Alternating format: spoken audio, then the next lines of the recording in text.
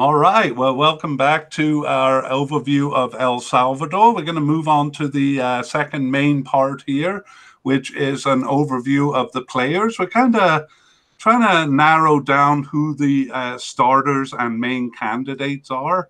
And uh, once again, uh, we do realize that uh, players do kind of move around their positions and uh, this position thing that we're doing is more of a kind of a structure to organize the discussion rather than a hard and fast uh, uh, hard and fast rule about who is in which position, uh, as we'll see in this podcast, actually.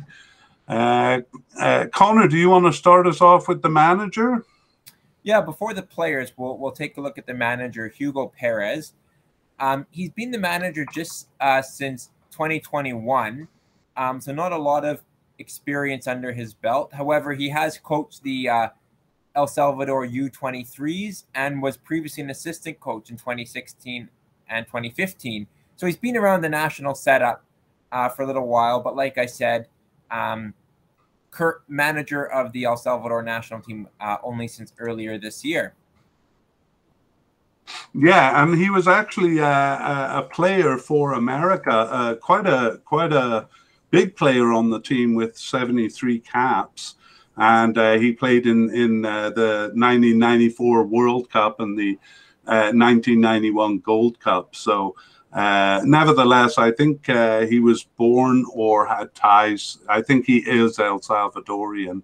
And as, as you say, he's, he's been part of their system for, for quite some time.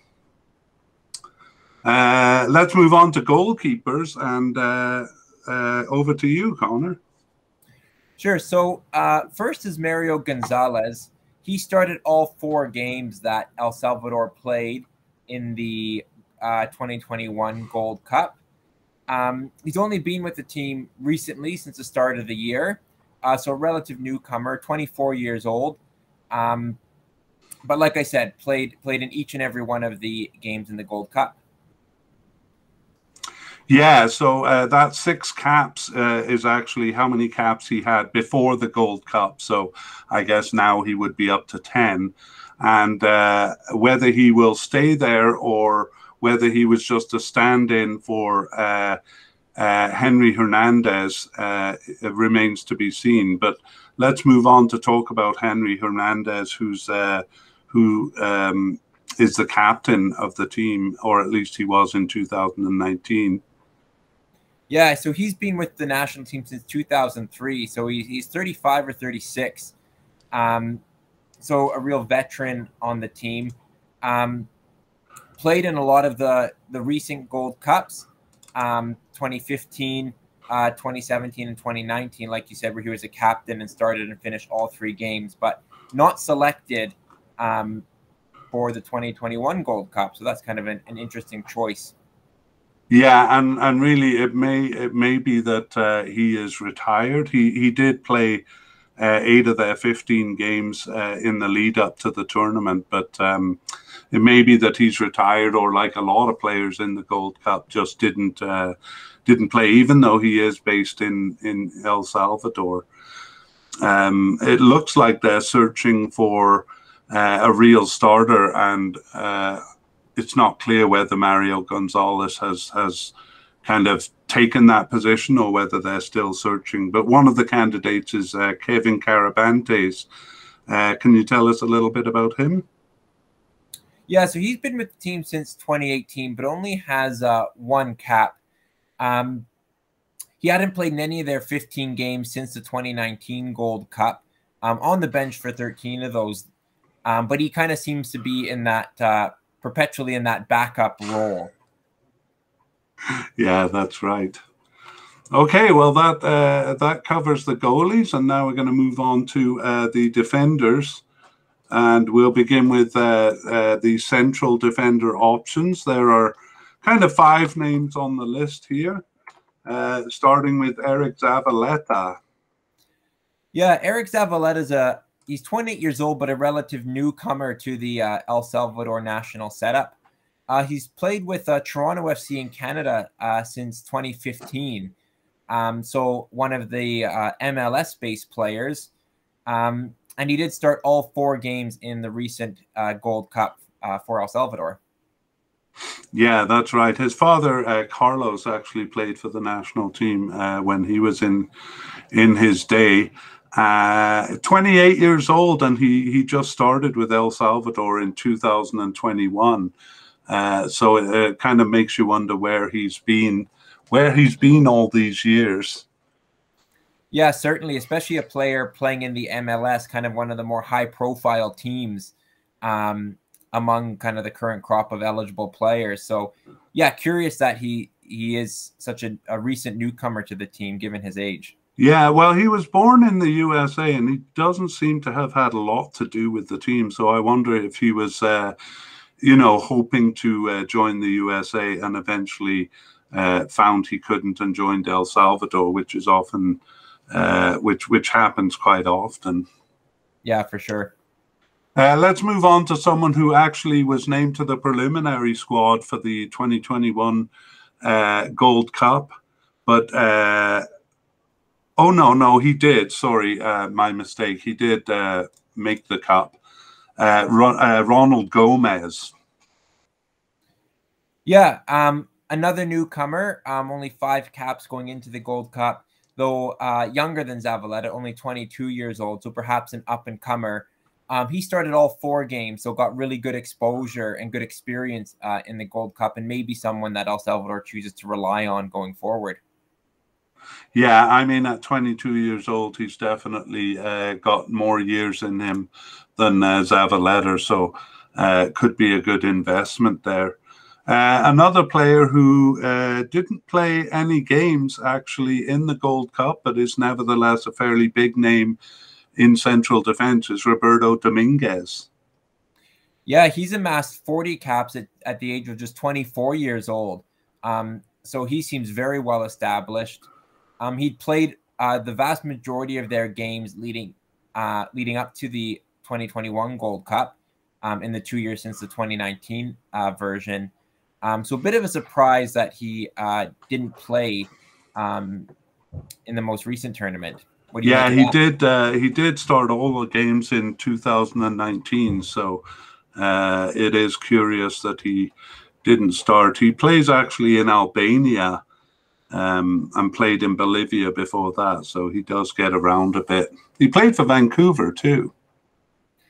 Yeah, so three continents. Um, certainly yeah. a player who's well traveled and also had some time with uh, some domestic clubs in El Salvador. Right. And then uh, not selected for the squad, but also with quite a few caps, 29 caps, is uh, Ivan Mancia. Yeah, like many in the team, he's uh, based in El Salvador. Um, he's moved around there, but has has played in El Salvador throughout his career. Um, he played nine of their 15 games since the 2019 Gold Cup. Um, he was under a, kind of a, a yellow card suspension um, do you want to tell us a bit more about that? Uh, I wish I could. I tried to uh, find out because uh, I think it went on for for six uh, games, the last six games before the cup, but I couldn't actually find out what that meant. Uh, so, so sorry about that. But because he uh, was a starter in 2017 and 2019, um, I'm guessing he would have been a starter here, except for that kind of mysterious suspension that we don't know about. Yeah, certainly. Um, yeah, like you said, a player who'd who'd established himself in the tournament previously. So um, again, likely to see him. Um, I would assume in the octagon. Yeah, I mean, honestly, I think uh, I think for the octagon, they're going to need more than just two uh, two main players, uh, whether it's through injuries or just the sheer number of games they're playing in a row. So all of these guys might factor in. Uh, the last one we're going to look at is Romulo uh, Villalobos. Uh, Villalobos. Yeah, he's probably a bit less likely to get some action. He's 23 years old, just has two caps. Um, he played a couple of the games prior um, to the tournament. Um, he was selected for the final squad, but actually withdrew due to injury. Um, so unable to get uh, some game time, which probably would have served good experience for him had he been able to get on the pitch. Yeah, and it is so hard to tell. I mean, he's an example of uh, a player that they bring in uh, one or two games before the start of a tournament. Every team seems to have a few players like this, so uh, you, you'd feel a bit uh, under the gun as an experienced player because it seems uh, when they find someone someone young and good, they uh, put them on the field, and uh, that means someone's out of the picture. Yeah, you see that every team, uh, from the smallest to the most powerful countries, there's always guys coming in for tournaments with just a handful of caps. So, um, not always the guys who help them qualify, which is interesting. But um, yeah, for whatever reason, maybe strong domestic seasons that have just finished gives these guys a bit of a window of opportunity. Yeah, that's right. Well, one guy who uh, hasn't moved out of his position as we move on to uh, left backs. I was trying to make a smooth transition there, but uh, I, I, don't feel like it really worked. But uh, Alexander Larin is a real uh, a real staple in the team. Uh, he did miss the 2009 19 Gold Cup, but uh, he he's been in the setup for quite a while and a starter uh, sorry, I think I'm taking some of your lines there, Connor. No, that's fine. Yeah, 57 caps. He's been with the team since 2012. Um, he actually had a bit of a bit of an absence, um, two and a half year absence um, that ended in December 2020. Um, and then he played seven of, the, of their nine games since that, leading up to the tournament.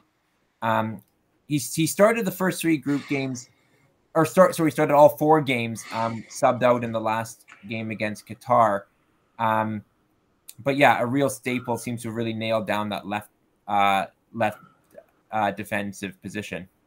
Yeah, and uh, he also took a free kick against Mexico and uh, hit the post. So it seems like he's pretty versatile as a as a left defender. And in fact, uh, here I have him coded as a left defender uh, and a left midfielder. I do get these uh, codings from uh, looking at a few websites. So it may be that he sometimes moves up into um, midfield also. Next is Jonathan Jimenez, who is, um, yeah, go ahead. Yeah, he would probably be the second contender um, on on the left side of defense. Um, similar age, around 29 years old, um, but 21 caps only. So so about a third of the caps um, of Alexander Larin. Um, not selected uh, for the 2021 Gold Cup. Um, he'd been involved in in four of their 15 games since the 2019 Gold Cup, um, but he wasn't selected for 11 others. So he seems to kind of fallen out of favor and, like we said, not in contention uh, for this Gold Cup. Yeah, I put him in as a candidate because uh, uh, he was a starter in 2019. So um, it, it, looks like he could still be uh, part of the setup, but he's really been in and out of the team. He was selected for the preliminary squad in 2015 and didn't make the final cut but then he didn't even make the preliminary squad in 2017. And as you said, uh, uh, in in 2021 wasn't even selected for the preliminary squad, so he may be out of the picture. But uh, he was a starter in 2019. Uh, let's go to actually two of the bigger names on the team: uh, Brian Tamacas and uh, Alex Roldan and uh, maybe you can do uh, Brian Tamacas there. Yeah, Brian Tamacas, he's 26 years old, 37 caps, so pretty good return um, at that age. Um, like Alexander Larin, he was he was out of the squad or absent from the squad for a bit. He had an 18 month absence, um, but then played played uh, all nine of their games prior to the 2021 Gold Cup um, and then played in uh, in three of their four games um, in this tournament. So again, a pretty well established player. Yeah, there's a bit of a funny story with him. Actually, he uh, he uh, clashed heads uh, early in in game two. Maybe that's why he was out of game game three, and he was wearing a bandage uh, for the rest of the game. And uh, at the end of the game, it turned out that uh, El Salvador had made six substitutions. And uh, they claimed later that one of the substitutions was a head injury, but it was kind of funny because he he uh, he had clashed heads 10 minutes into the game and, and played the rest of the game. Uh, well, he was subbed out actually at 89, but I, I, don't think that's how the concussion rule is really supposed to work. A, a dubious interpretation of it at best, but they got away with it. it they did. Funny. They got away with it. Okay, well, uh, Alex Roldan actually has a brother uh, who played for the US in the Gold Cup. Um, right. And he was born in the USA. Do you want to tell us a little bit about him? Yeah, born in the U.S. and spent uh, pretty much his entire uh, professional career in the U.S. Um, playing for a couple uh, kind of lower league teams, but now with the Seattle Sounders. Um, actually, a second stint with the with the Sounders. Um, so one of their MLS-based players, just a handful uh, in the squad. Um, he played uh, all four games in the Gold Cup. Sub subbed in in the first two, but then was a starter um, for the for the final group stage game against Mexico and the uh, the knockout game against Qatar. Um, so yes, and and even scored a goal. Um, he uh, he got the uh, the first goal in a 2-0 win against Guatemala in their opening game. And apparently that goal caused him a lot of pain because uh, uh, I think uh, one of his parents is from uh, Guatemala and the other from El Salvador. He was also born in the USA, but uh, he really is attached to Guatemala, kind of uh, emotionally attached. And I think he was thinking of playing for them. Um, and then uh, in his in his debut game, he not only played Guatemala but suffered the pain of scoring against them. Poor guy that would cause uh, a lot of kind of mixed feelings, wouldn't it? It would, as it would have been had he ended up playing his uh, his brother in the United uh, had they met the United States, but uh, they avoided that. Yeah, he he didn't end up facing him. Uh, before uh, we're going to move on to midfielders here, um, but but uh, before we look at defensive midfielders, we're kind of moving upfield. Uh, you get some of these players who are kind of all over the field. It seems like every time I look at a graphic, this guy is in a different position. Uh, he's one of also one of their very big players, uh, Cerén uh, Darwin Cerén, and I think he also has a brother uh, playing for the for the El Salvador team. Yeah, I uh, would have to verify that. Um, but yeah, he's been with uh, El Salvador since 2012, 65 caps, four goals. Um, he started um, basically being a starter for their last five Gold Cups. Um, so certainly someone who's, who's, kind of one of the first names on the on the team sheet. Um, he he uh, subbed out in the first uh, first three games, but but started every game in this tournament. That's right. He got a couple of yellow cards. He's also uh, based in the MLS, like uh, uh, quite a few uh, El Salvador players are. And if you're wondering what VM means, it's it's my own designation, uh, a versatile midfielder. Let's move on to the defensive midfielders, and we have uh, a couple of kind of um, uh, nominations as the uh, as a starter. Well, I guess because Henry Enriquez was uh, not in the 2021 World Cup that Marvin Monterrosa took over as the captain. Yes, that's right, taking it over from the goalkeeper. Um, Monterrosa um, played uh, played in all or made appearances in all four of the uh, the Gold Cup games and had played in 12 of the 15 games since the 2019 Gold Cup. Um, so a pretty regular in the squad. Um, like like a lot of players, he plays uh, his domestic football in El Salvador, um, and yeah, worked his way to to deserving the armband uh, for the most recent Gold Cup. Yeah, it's a bit of an interesting history with him. He uh, he uh, did uh, start with the team in 2014. Uh, wasn't selected for the preliminary squad in 2015 uh, was selected for the preliminary squad in 2017, uh, but didn't make the final cut. Uh, was a sub in 2019, and then uh, now he's a starter and uh, captain of the team. So that that um, is just a story that that um, has a lesson of kind of never quit because you'll get there if you keep trying. Yeah, slow and steady.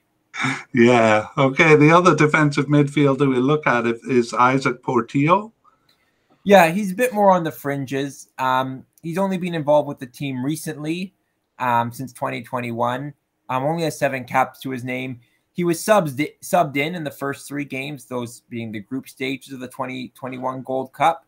Um, but uh, yeah, probably someone who who has a bit more of a supporting role, um, certainly compared to some of the players around him, uh, Cerén and uh, Monterrosa, who we mentioned.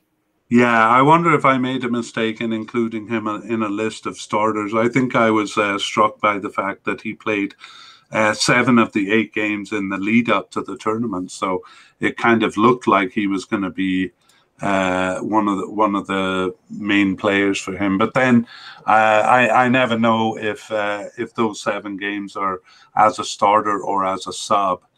But uh, anyway, he is one of the one of the players who um, might be uh, in in and around, as you say. Uh, we'll move on to central midfielders, and we only have really one in this position, Narciso Orellana. Right, yeah, Orellana. Um, he played in uh, the, the, three group stage games, but then uh, I believe was suspended uh, for the for the knockout round, having collected two yellow cards, so he didn't see any action then. That's right. Um, yeah, he played nine of their 15 games since 2019 Gold Cup. Um, not selected for the other six, um, which is all their World Cup qualifiers. Um, he's also been involved in previous tournaments. Um, was on the roster but didn't see any action in 2015, but then was a regular starter in 2017 and 2019 Gold Cups. Yeah, and uh, I would imagine uh, he'll be a big part of their team uh, going into the uh, going into the um, Octo. Uh, have we decided what to call that? I mean, it's not our decision. I I liked uh, the suggestion of Oka, but I think I hear it being called the Octo more often now. Yeah, I'm not sure if it's been settled. Um, the hex was nice and easy, but now they've got eight teams. They're still experimenting, I think. Yeah, that's right. Okay, well, uh, the left midfielder situation really, um, uh, really kind of emphasizes how artificial the structure we've set up here is, uh, because um, I don't think any of these floor players actually did play left midfielder because I think the right midfielder played on the left during the um, the 2021 Gold Cup. And uh, Joaquin Rivas is an interesting uh, story. Uh, David Rugamas was, uh, they had high hopes for him because he's been doing well as a forward. Uh, but I think he was on the bench for the first game and then he left the team due to illness.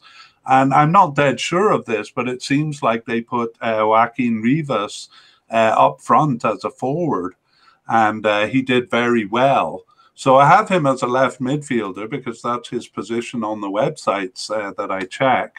Um, but uh, obviously, he's he's uh, he played as a forward in 2021 and did so well that maybe they will convert him to a forward. maybe we should start with learning a little bit about him before we do the first name on the list now that I've started it? Yeah, well, like you said, he, he did well. He scored um, scored three goals over the course of their four Gold Cup games, including both their goals in the 3 2 loss to Qatar um, in the quarterfinals. Um, yeah, he's uh, he plays for the U.S. and hasn't hasn't uh, made any appearances in the MLS, but kind of in their their second tiers, the United Soccer League. Um, he's 29 years old, um, only been involved with the team for the last three years, um, so only 10 caps. Um, two goals coming into the tournament, added three goals um, in the tournament. So, yeah, I mean, you always need players on the field who can score goals for you, um, especially if they're not in that center forward position. So, expect him to kind of be involved given his his strong performances yeah, it'll be interesting to see uh, how they do. I mean, it was very impressive against Qatar because they were down uh, three nothing, and then he scored two goals in the space of three minutes uh, at 63 and 66, and suddenly they were back in the game, and they almost uh, they almost tied it up. So uh, I'm sure he's a pretty big name, or he's on uh, the lips of El Salvador fans. Uh, but yeah. we'll go. Oh, sorry, go. He actually thought he scored a hat trick to complete a remarkable comeback, but was called uh, uh called offside in that game after um, uh, putting the ball in the net. So right, that that would have been a tying goal. Yeah, would have been remarkable. Would have yeah. been a ten minute hat trick had he pulled it off, but uh, co- correctly called offside though it was close. Yeah, he would have been a hero for sure. Um, let's go back to the first name on the list, though. Another Portillo. This one is uh, Juan Carlos Portillo. Yeah, a pretty regular player in the squad, someone we expect to be involved um, playing 11 of their 15 games uh, between the 2019 and 2021 Gold Cup, um, and then had involvement in all in all four of their games, mostly coming as a sub. Um, he did start uh, the first game, but came in as, as a sub uh, in the next three. Yeah, and I think I, I remember him playing more centrally than uh, than on the left, but um, I'm not as familiar with these players as we are with Canada's player. Uh, right. One name, though, that is very familiar to me is uh, uh, I, I, Jaime Alas. I, the name Alas is familiar to me. How to pronounce the first name, I'm less confident with, but uh, 75 caps. He's a real veteran for the team. Yeah, uh, being involved in uh, all the Gold Cups, um, or sorry, for, for most of the Gold Cups since 2011, not involved in the um, the 2017 Gold Cup. But um, when he's, uh, yeah, seemed to be a bit bigger player in the early 2000s, starting uh, um, starting many of the games in 2011 to 15. A little bit less involved, and then was not selected uh, for the 2021 Gold Cup. So, um, yeah, not probably at the point where he's aging out yet. So it may be a case of, of El Salvador giving some other players a chance. Um, but yeah, Jaime Alas, definitely a player that's been around the team um, and would expect to be involved again. Yeah, I mean, I think I included him here just because he, he is in and out a lot. It seems like he kind of plays every second Gold Cup and in his early 30s, so he, he may not be kind of uh, out of the system yet. You can kind of see him uh, as a player who would be who would be good to have on the bench and to to bring in uh, if you need him. Uh, yeah, his he's um, he's got two brothers who also play soccer, uh, Dennis and um, Juan Carlos, uh, and he's actually a twin of Ron, of Juan Carlos. But I think he's the biggest name of the three. And yeah, we'll move on again. A less likely candidate than some of the ones we've looked at here, but uh, uh, a veteran to be sure, uh, Andres Flores. Yeah, similar number of caps to Alas. Um, like Alas had been involved uh, kind of on and off in Gold Cup since 2011, uh, but not selected for the 2021 Gold Cup. Yeah, it, it seems like he's never really quite been a full starter for them. Uh, he's been around for a long time, um, but uh, there he is, kind of again with so many games and and uh, also injuries or or COVID uh, cases happening. They may have to uh, turn to some of these some of these veterans who are still uh, active for their club teams and and sometimes where you can be a little bit more experimental in a Gold Cup for World Cup qualifying, sometimes teams do return to the more veteran players. Um, just knowing how important the games are, they're less perhaps experimental with some of the young players. Absolutely, and and we did kind of learn through this uh, through this Gold Cup that at least some of the teams were being were being quite experimental in you know uh, with, with an eye to um, uh, with an eye to the team that they were gonna they were gonna go with for the World Cup qualifiers. So uh, you're dead right there.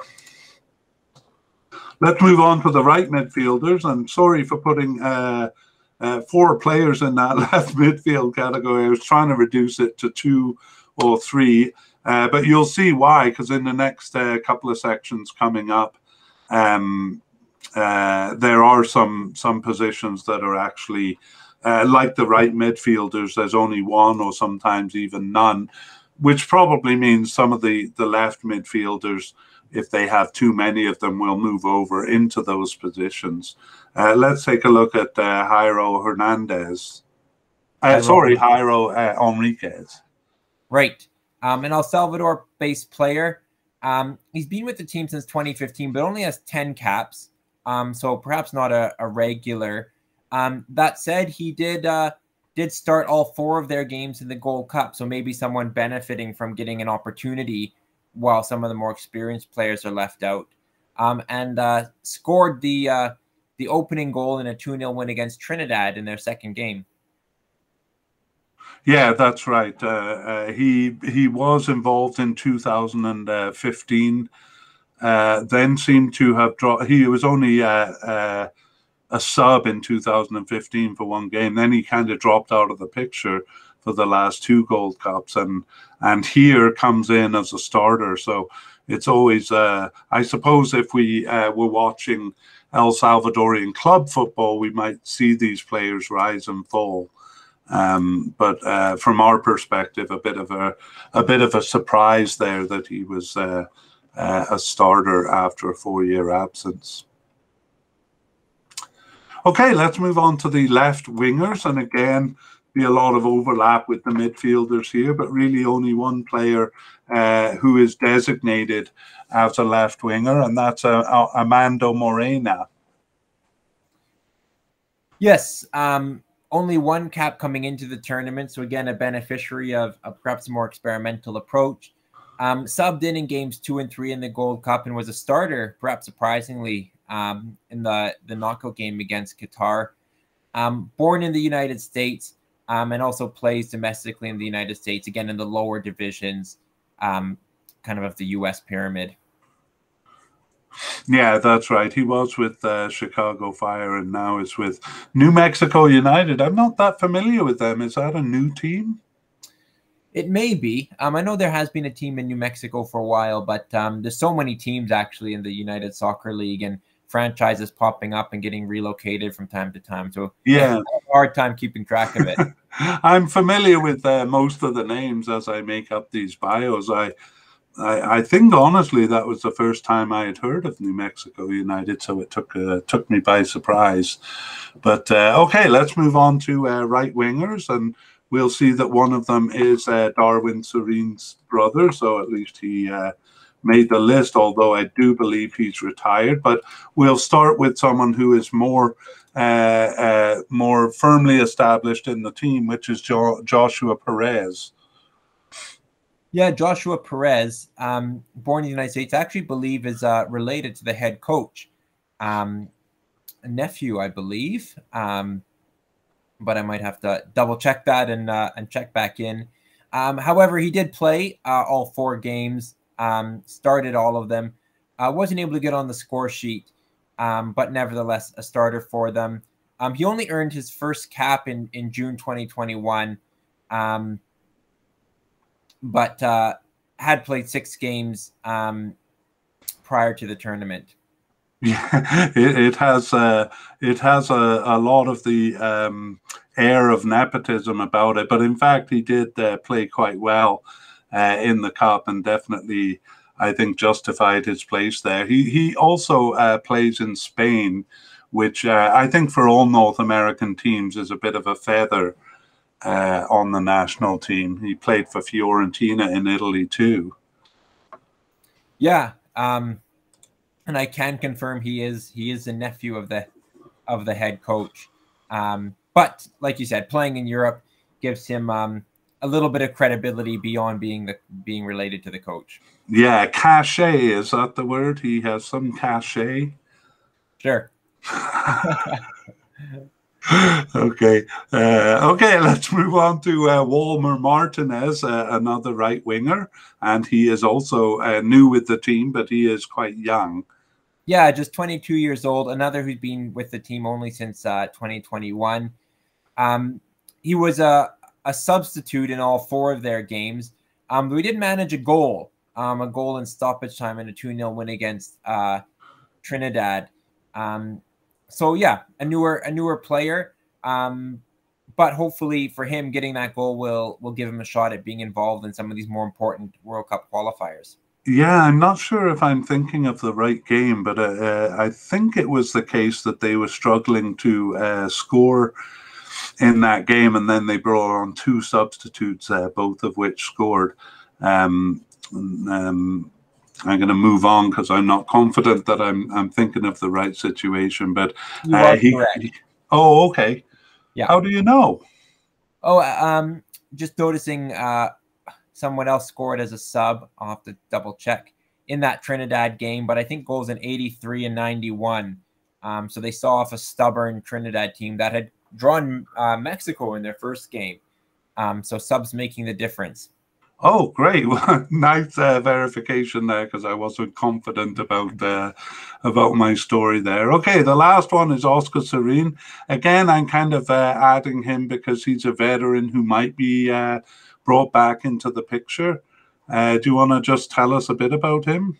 Yeah, like you mentioned, he's the older brother of Darwin, um, who also plays on the team. Um, he started all three games in the 2019 Gold Cup, but was not selected uh, for the preliminary squad for this tournament. Yeah, that's right. And so um, we'll have to see if some of these guys, I mean, uh, we're more familiar with Canada, and we definitely know uh, some of the players who didn't show up for the World or for the Gold Cup are still very much in the picture. So it's probably the same with uh, El Salvador that some of these guys look like they may be out of the picture, but will probably be uh, used. Um, okay, attacking midfielders and secondary strikers. Uh, there are no players kind of designated uh, in those positions. Probably some of those uh, midfielders uh, would kind of move up into those positions. Um, but we just have uh, forward uh, forwards, and I, I, think El Salvador really missed. we're really kind of shocked that David Rugamas was not part of the thing, part of the part of the uh, setup because he came down with a severe flu. I don't know if that means COVID or if it really means a severe flu. Um, but uh, he was there for one game uh, and then left the team. Yeah, a real loss. He has a great goal scoring record for them 10 goals and 17 caps. So, um, kind of a goal every other game. Um, he he actually doesn't have a lot of uh, Gold Cup experience for them. Um, so this would have been a really good platform for him to shine. But yes, an unfortunate illness um, right before the tournament um, meant he was unable to play a part. Yeah, I get the feeling they were very excited about him and therefore disappointed. Uh, a lot of those goals came in the in the last uh, Concacaf Nations League. Um, uh, round, and uh, so uh, they're they're kind of um, new, even though he's been there uh, on the team since 2015. I think uh, a lot of those goals are recent, so uh, it made El Salvadorians kind of excited to see what he would do at the Gold Cup. Uh, another new player is Marvin Marquez, and he is brand new to the squad. Yeah, brand new. He actually hadn't appeared for the national team before being named to the preliminary squad, and then um, he made three appearances for the team, all all from the bench. Um, he did get an assist um, in his uh, in the game against Guatemala, the opening game of the tournament. Um, so yes, not a lot of experience. Um, only 23, so someone that they may have bigger plans for, um, but probably benefited perhaps from from uh, Rugamas not being there. Um, and probably yeah. mental approach. I think I put him on the list because I think they they uh, are kind of searching uh, for a forward. Uh, once Rugamas left, uh, they used uh, the the left midfielder Rivas, who we talked about, who who yeah. filled his boots very well. But um, you know, he's uh, he he was a midfielder, so and one of the reasons why they need a forward is because it looks like Nelson Bonilla uh, who's been with the team for, for quite a while, is making his way out. And he is the last player we're going to look at. Do you want to tell us about him? Yeah. Um, a player who has 46 caps and 16 goals, so a bit of experience and a bit of a goal threat. Um, he, uh, yeah, involved in uh, Gold Cups in in 2015, 2016, and 2019, um, but not selected for the 2021 Gold Cup. He only played five of their 15 games after the 2019 Gold Cup, so um, again, possibly a player on the way out, as you mentioned though it may be tempting to to bring in someone who has that sort of pedigree in terms of caps and goals uh, for these very important World Cup qualifiers.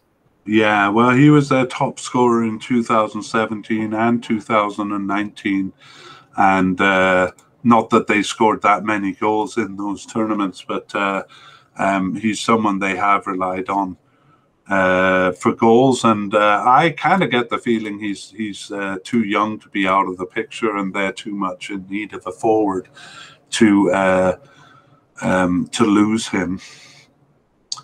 Anyway, that brings us to the end of our review of uh, El Salvador players. Anything to add there, Connor? No, I think El Salvador was um, certainly we saw for the Gold Cup some of the players that we mentioned, seventy caps 40 caps, 50 caps. These players weren't involved. So I think there was definitely um, um, an effort by by the coach uh, Hugo Perez to bring in some new players to see to see what some of these younger players uh, were about. Certainly, for some of the players, the more experienced ones, we would expect to see them back in. Um, but the great thing about the Gold Cup is it, can, it gave these players some meaningful games, and and we may see some of them involved. So it'll be kind of interesting to to track how similar the team is uh, in the octagon as it was to the Gold Cup.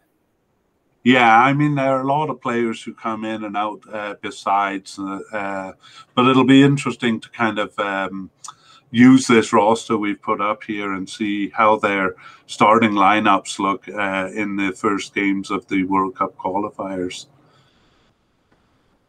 Okay, well, great. Uh, thanks, Connor. And we will see you uh, next time. I'm not sure which podcast we're going to do next, but uh, thanks for joining me in this and for your insights. My pleasure as always. Okay, take care. Bye. Bye bye.